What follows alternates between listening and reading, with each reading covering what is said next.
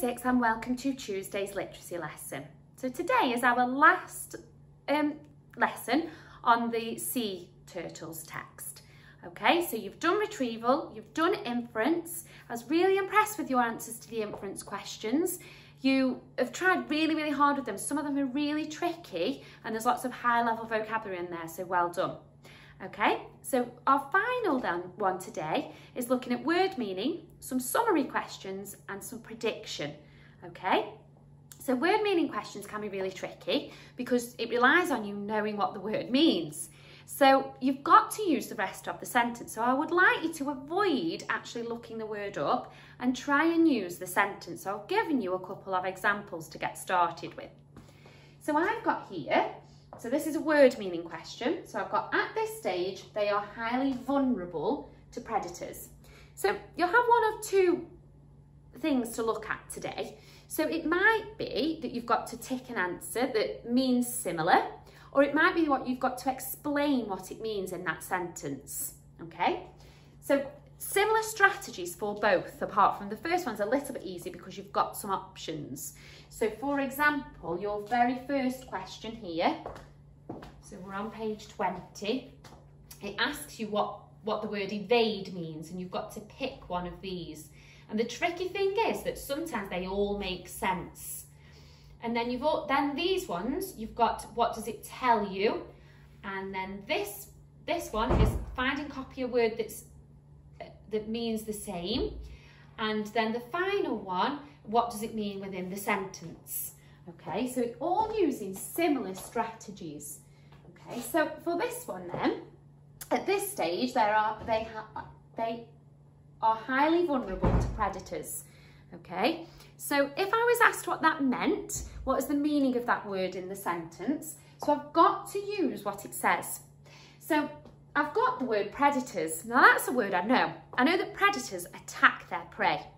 Okay, so it says it highly means very, and then I've got vulnerable. So I've got they are highly vulnerable to predators. So if they have got a predator coming after them, then it means that they are in danger. Okay, so I think that vulnerable means that they are highly in danger, they are exposed. Exposed means where they can be seen really easily. Um, so I think that it means that they are exposed and in danger. Okay? So then the next one then that I've given you as an example is unfortunately a huge number of discarded plastic bags find their way into the world's oceans every year. So I'm going to use a little bit of my background knowledge here. So I know that lots and lots of plastic bags are bought. Um, they are, they're, they're thrown away. People don't reuse them. So I'm going to think about, so unfortunately, a huge number of discarded plastic bags I mean, I think that means that they're not, they're no longer needed. They're put to one side, they're thrown aside. Okay, so if I was asked what that meant, that's what I would say. Sometimes you might be asked for another word that means this. So unfortunately, a huge number of discarded plastic bags. Now, I've just said that I think that that means thrown away. Um, so I'm going to say that I would use left. So unfortunately, a huge number of left plastic bags or disused plastic bags or unused plastic bags find their way into the world's oceans every year. Okay, so you've got to use, sometimes it's your knowledge, sometimes it's the rest of the sentence, like on this one I used that I knew what predators meant, okay, to work out what that word means. So we'll have a little look at the questions with you, okay. So the first one, like I said, you've got to tick the one that you think means evade. So use the sentence, so those which manage to evade these dangers can live. So think, they've carried on living, okay? So they've not been a victim to the dangers, so they've managed to carry on living, so hopefully that will help you. Okay, so they eat a varied diet of marine produce. What does the word vary tell you about the loggerhead's diet? Okay, so think you might know what varied, varied, variation means. Okay, and it's talking about their diet, what they eat. If what they eat is varied, what does it tell you about their diet? Okay, so the next one then, you've got to look at a paragraph and find one word. So remember, on this line here, there should only be one word. Okay, so question four, still on the word meaning questions. So it asks you to what the word severe means in the sentence. Okay, so you've got the sentence above here. So tragically, these extraordinary creatures are now facing severe threats to their existence. Okay, so remember you are reading round the word severe to help you work out what it means. Okay, so you know what threats are. So a threat to somebody is something that endangers them. Now, that's your noun, and you've got severe is the adjective describing the noun. So you know also from this sentence that it's tragic, it's awful, it's sad. So it must be quite serious.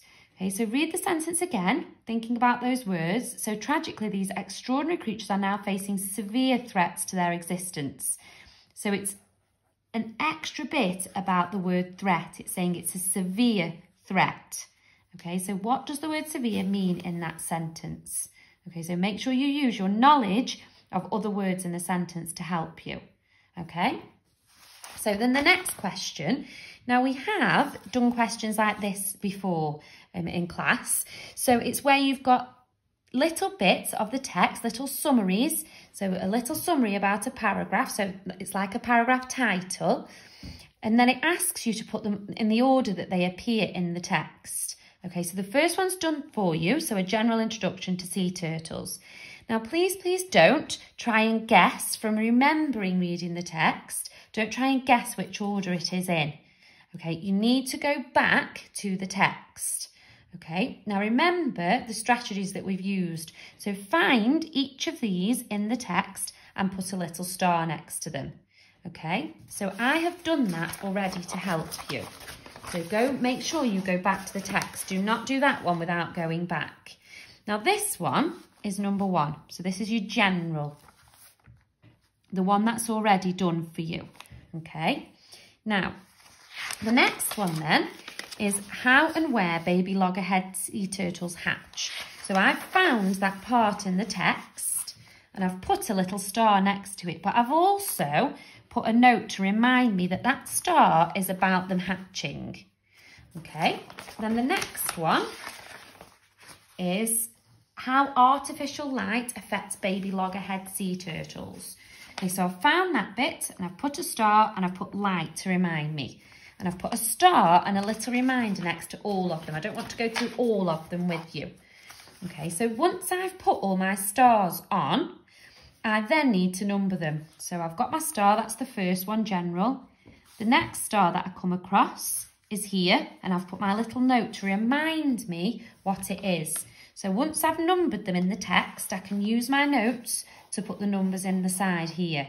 So it's similar to ones that we have done before. Okay, so you make sure you use that strategy, go back to the text, find all of the events, then number them on your text, and then finally, that's the very final step, is to fill this bit in. Okay, if you try and do it without doing all the bits before, then you'll get mixed up, okay? Right, so the last one then is a prediction question.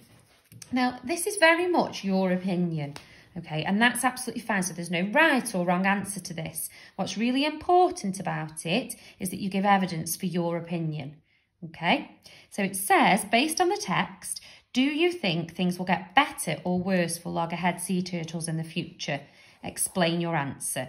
Okay, so you'll see that I've ticked better there. We'll come back to that in a minute. But what I did to make my decision was went through the text and found some positive and negative things for the sea turtles. Okay, so you'll see that I've highlighted them. Okay, so I've highlighted some positive and negative. You might want to do it in a different colour.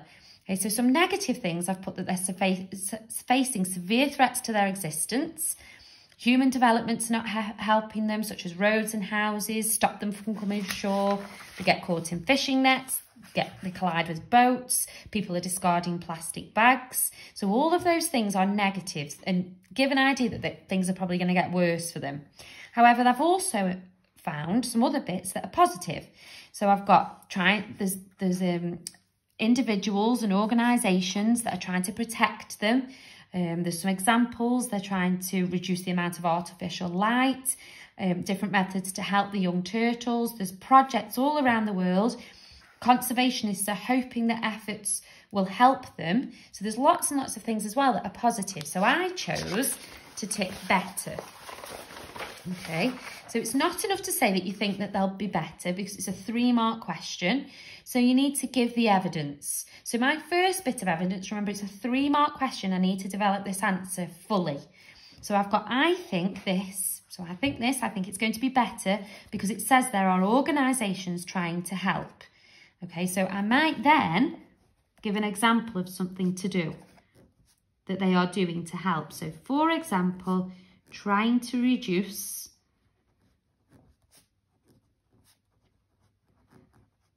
artificial light. So you can see that I'm developing my answer. I'm using evidence from the text to support why I think things are going to get better. Okay, so that is the end of that reading text for, for this week. Um, we'll be moving on to a different one tomorrow.